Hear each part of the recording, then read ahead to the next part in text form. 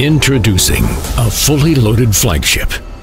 This is the DJI Agras T100. With a maximum payload of 100 kilograms and a single axis thrust of 82 kilograms, the T100 delivers unparalleled spring power. With a 100 kilogram payload, it boosts overall operational efficiency by 66%. Equipped with a high torque screw feeder motor, it ensures smoother and more seamless spreading operations.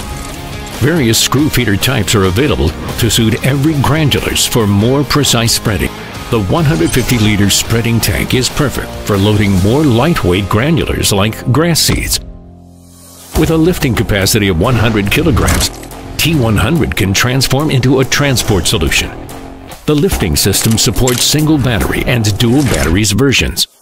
A triaxial force sensor stabilizes cargo mid-flight, smartly eliminating swing for steady transportation. The T100 features a next-level safety system with comprehensive upgrades.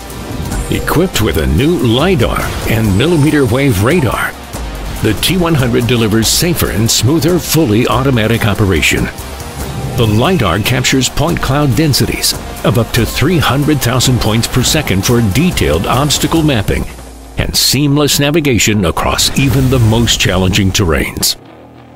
During operations, obstacles are automatically detected and saved into the field map, making each flight progressively safer.